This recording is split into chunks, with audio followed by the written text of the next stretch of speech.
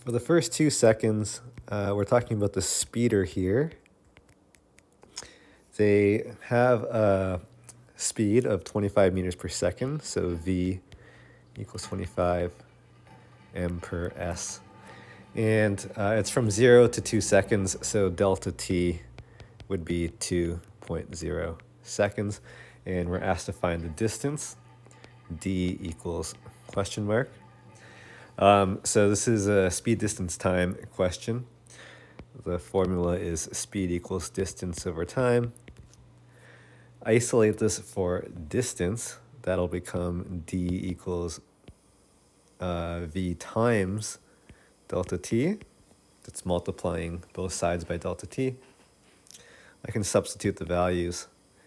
So 25 times 2.0, giving me 50 uh, the units would be meters because um, speed's in meters per second, time is in seconds. That's going to result in the distance being in meters. Sig figs should be two sig figs. All right, so essentially this is like the head start that the speeder has on the cop because it takes two seconds before the cop um, gets their car going. So within that two second time, the speeder has been able to go 50 meters. Well, now part B, um, the cruiser is going to give chase now. So for the cruiser, we'll have uh, the acceleration of 10.0 meters per second squared. Let me highlight some of these things here. Um, starting from rest, so um, V1 equals 0. And the question is, uh, when will the cruiser catch up to the speeder?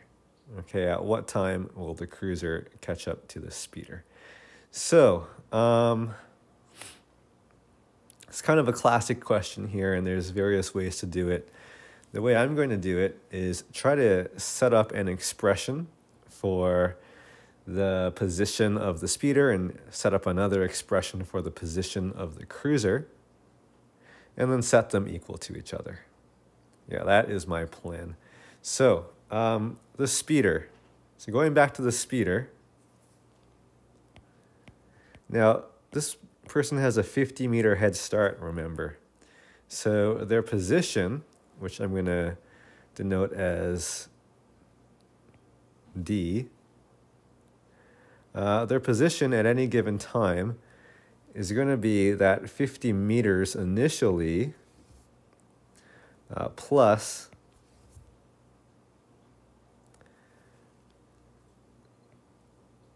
Twenty-five delta t. So that 25 stands for the speed, 25 meters per second, multiplied by the delta t, uh, which is uh, the number of seconds uh, that are going to pass here before the cruiser passes the speeder.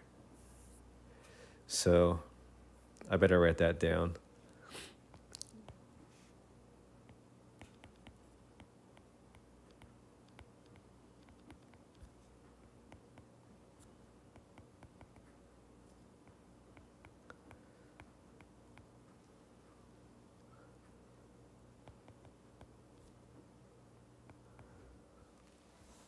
I may have said that wrong. Delta T represents the time elapsed since the cruiser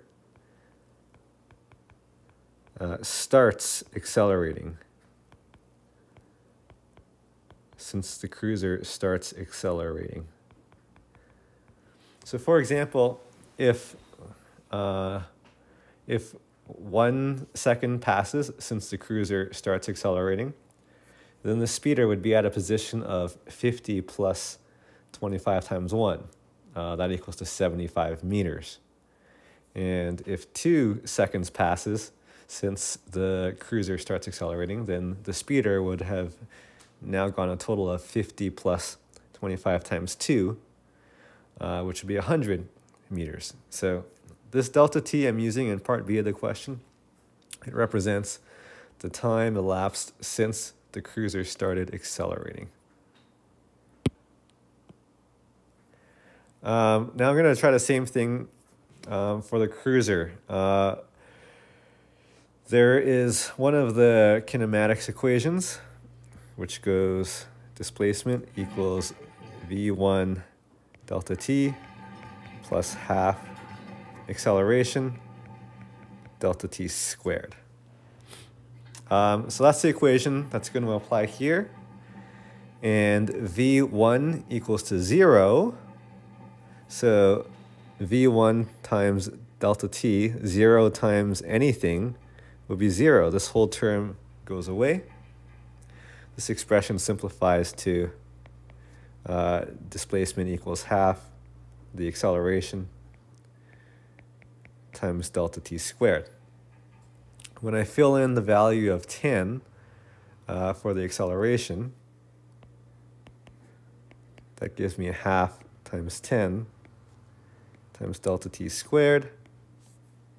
Uh, and 1 half times 10 is 5. Now I'm going to write 5.00 so that it has three significant digits because 10.0 has three significant digits. All right, so what I've done is I've come up with two expressions. One gives the, the position of the speeder, and one gives the position of the cruiser. And what I want to do is find out when these two positions are equal to each other, because that's when the cruiser uh, catches up to it. So um, what I end up doing is I set these equations equal to each other. So let me just number them, 1 and 2. And I'm going to say set equation 1 equal to equation 2. Uh, because both equations give me d, a position, and I want the positions to be equal, so I set them equal to each other. So that's going to result in uh, this overall equation of 50 plus 25 delta t equals 5 delta t squared. So this is like uh, solving a system of two equations and two unknowns uh, using the substitution method. Okay, so this results in a quadratic equation. I don't know if you uh, recognize that, but um, I've got a quadratic equation here with a t squared term, a t term, and a constant term. So I need to solve this quadratic. What I'll do is um, subtract 25t on both sides and also subtract 50 on both sides so that the left side ends up being 0. That's kind of how you approach solving a quadratic equation.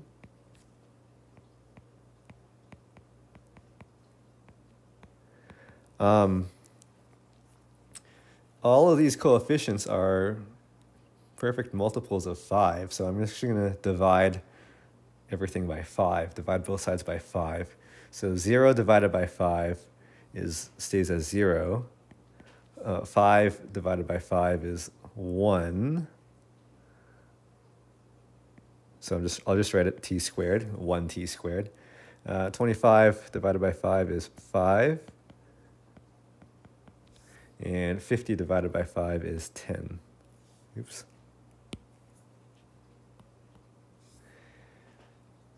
All right, and then um, I solve that quadratic. Now I'm, I'm thinking this does not factor.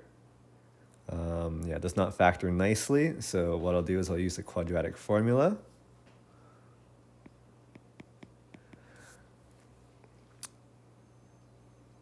So uh, here's the quadratic formula. Negative b plus or minus root b squared minus 4ac over 2a Give myself some more room here. Okay, so uh, just substitute the coefficients in. So negative b would be negative of negative 5.0, so that makes positive 5.0, plus or minus the square root of uh, b squared, so that's 5.0 squared. Uh, I didn't write the negative because a negative squared is a positive anyway. Save myself a little bit of time there. Uh, minus 4ac, so minus 4 times 1 times negative 10 all over 2a, 2 times 1. Um, so that 1, um, it's actually 1.00. I was a little lazy uh, when I went um, one of the steps, that the 5.00 divided by 5.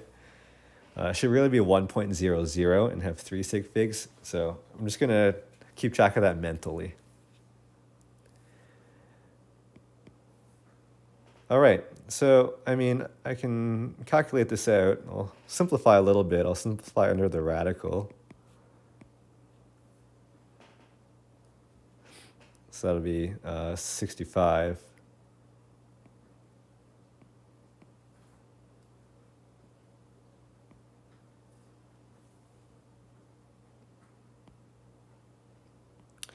And um, so I'll get two answers here. One of them is going to be a negative answer, like 5 minus the square root of 65 is going to be some negative answer, which is not going to apply in this situation. Because I'm not looking for a negative time here. So I'm only going to take the positive uh, value. So the negative is going to be, uh, we say it's inadmissible.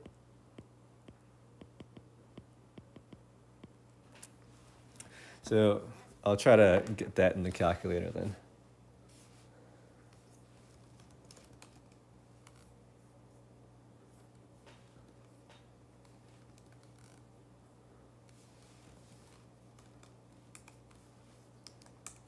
Okay, so I'm coming up with 6.3 after I round it to two significant figures. Uh, 6.5, that is. Seconds. All right, so um, delta t equals 6.5 seconds. So to actually answer question B, um, I got to go back and remember that 6.5 is actually um, how much time since the cruiser started accelerating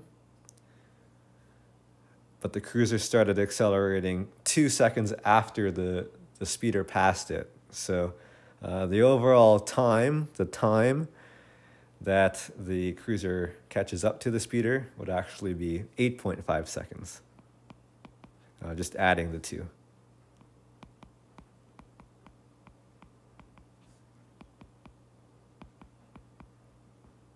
So this one's tricky in terms of you have to um, keep track of what t represents and what delta t represents in each stage of your solution.